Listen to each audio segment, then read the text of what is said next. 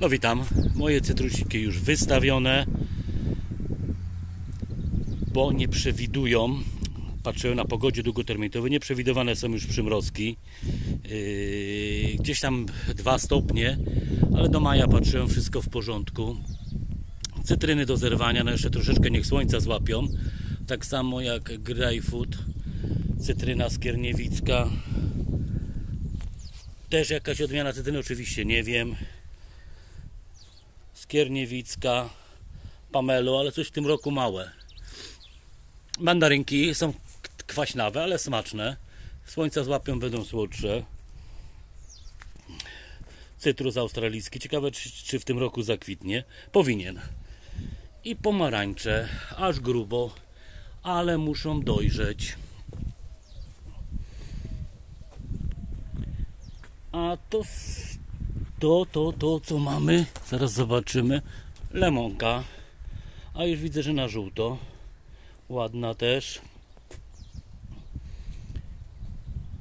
I tu są moje juki, raczej nie, yy, to nie jest juka, tylko australijska. Zapomniałem, jak ona się tam, wiem, że coś australijska zapomniałem. Dalsze, dalsze cytrusy cytryny do oberwania i mój nowy nabytek. Juka Rostrata, bardzo piękna. Od Pawła. Dobra, teraz Wam pokażę pierwsze co wystawiłem, bo wczoraj wystawiałem. Teraz będę je, pierwsze co nie nawoził, tylko będę je zakwaszał.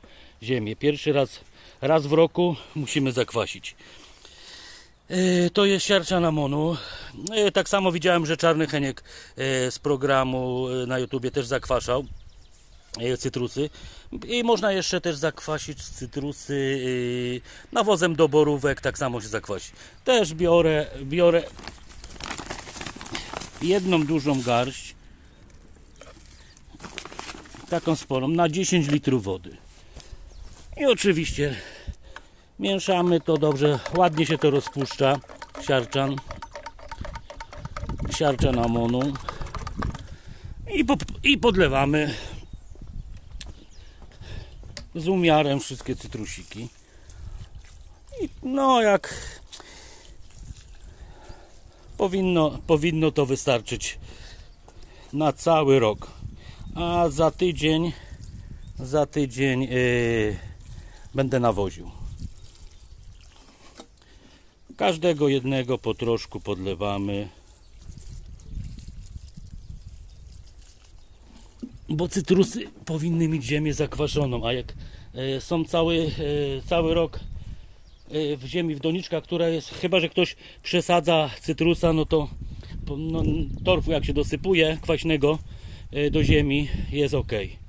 A tak wiadomo, że trzeba ziemię zakwasić lepiej rosną, lepiej pobierają składniki e, z ziemi. Wszystkie, wszystkie witaminy, jak jest zakwaszona ziemia, tym to lepiej, lepiej wszystko, cała roślina lepiej podbiera. No to co? Aby teraz ładnie kwitły i zawiązywały owoce.